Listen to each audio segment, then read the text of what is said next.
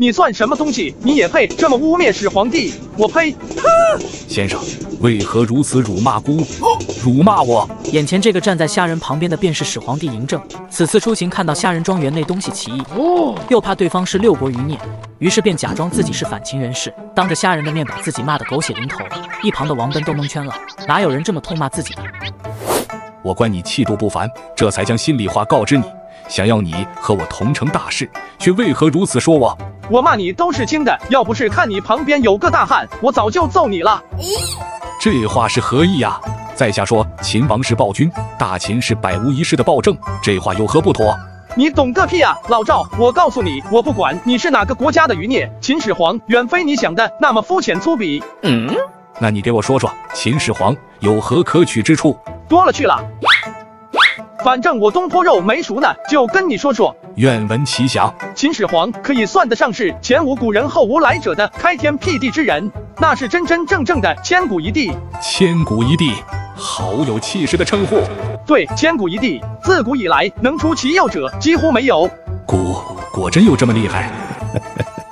车同轨，书同文，统一度量衡，使得华夏自三皇五帝到如今，真正意义上完成了大一统。从大秦开始，我华夏大地才是真真正正的成为了一个整体。对整个民族、天下所有炎黄子孙来说，到底有多大的意义？岂能是眼中只有那一亩三分地的六国余孽能看得明白的？都说大秦统一六国，杀了无数。请问大秦统一天下，才死了多少人？反观六国相互讨伐，死伤者不知是秦统一六国死伤的多少倍呢？华夏大地若不是秦完成了一统，南有百越，北有匈奴，一个个支离破碎的样子，如何能御敌于千里之外？始皇帝虽有瑕疵，但终归是功大于过，凭这一点就不该被单纯的视为暴君。你们一口一个反秦复六国，说到底只是为了自己的锦衣玉食罢了。好，知己呀！没想到这世上竟然还有比百官、比姑的内侍亲人还要理解自己的人。你好个屁啊！老赵，你不是要造反的六国余孽吗？我说始皇帝的好，你跟着叫什么好？这，不瞒你说，其实在下之内心是向着大秦的。刚才那一番话，不过是为了试探先生我对大秦之心可昭日月。若我是真心要造反，又岂能没一点准备就前来拉拢先生？特么的，闲的蛋疼试探我？你当真不是六国余孽？千真万确。老赵，看你举止不凡，身边又有如此精壮的随从，而且你还姓赵，你在朝廷里该不会是有点关系吧？关系，呵呵，是有那么点关系，不过只是依赖祖上有功，所以得到了点好处，这才游山逛水。嗯，那真是可惜了。嗯，不知道先生你可惜什么？可惜你地位不是很高啊！我看你姓赵，以为你认识啥大人物呢？要是你地位再高那么一些，我就有办法让咱俩都飞黄腾达，说不定以后能改变整个大秦的国运呢。先生，你说的改变大秦国运乃是什么？我说你小子不会是什么密探吧？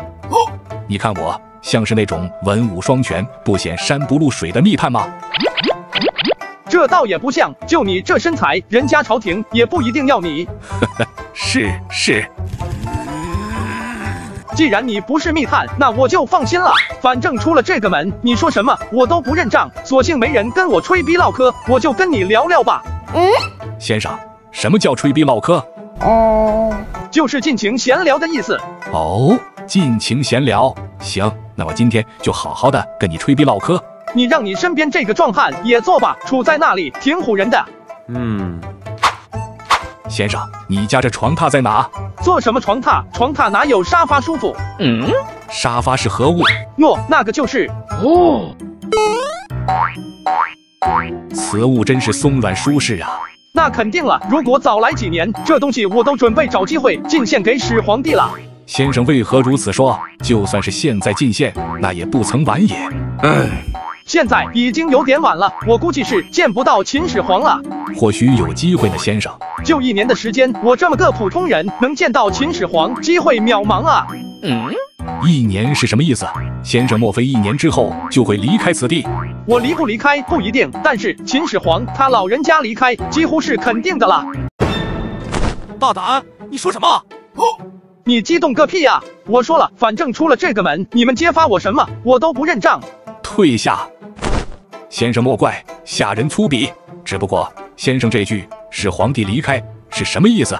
就是人死了呗。嗯，先生这话说笑了吧？你怎知道一年之后始皇帝就会死了？莫非先生是神仙，能预知未来不成？特么的，我总不能说我来自两千年后吧？你可听说皇帝痴迷炼丹？嗯，是有所耳闻，没想到先生也知道。不过求仙问道，想要长生不老，这有何不可？长生不老个屁呀！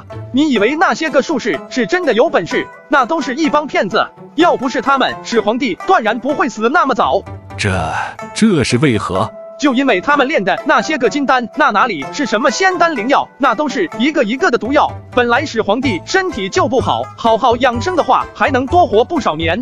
但是，一颗颗的毒药吃下去，不死才怪。什么毒药？先生这话未必是真吧？你又没见过始皇帝，又怎么知道他吃的金丹都是有毒的？莫非你认识那些术士？一个都不认识。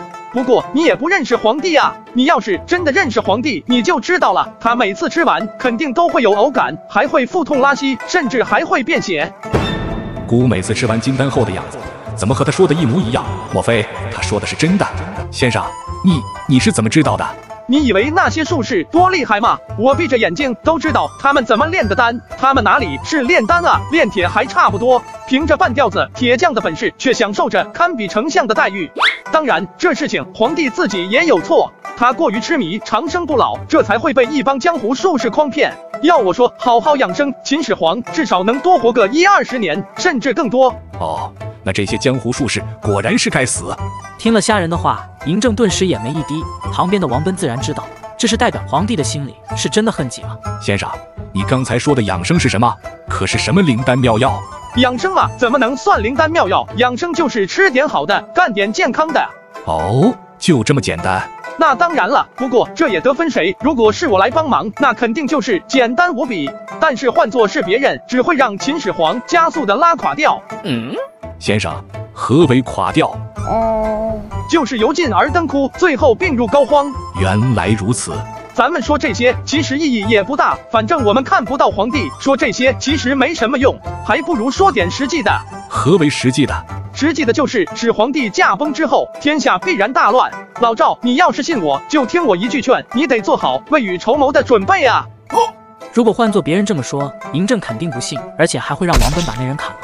但是经过跟虾人吹逼唠嗑之后，也是将信将疑。天下大乱也不至于吧？就算是皇帝崩了，大秦照样几十万大军在，朝中文臣武将无数，横扫六国，余威尚在，何来天下大乱之说？这你就不懂了。大秦之灭亡不是因为外界，而会因为内部。追其祸源不在旁人，而在皇帝本人。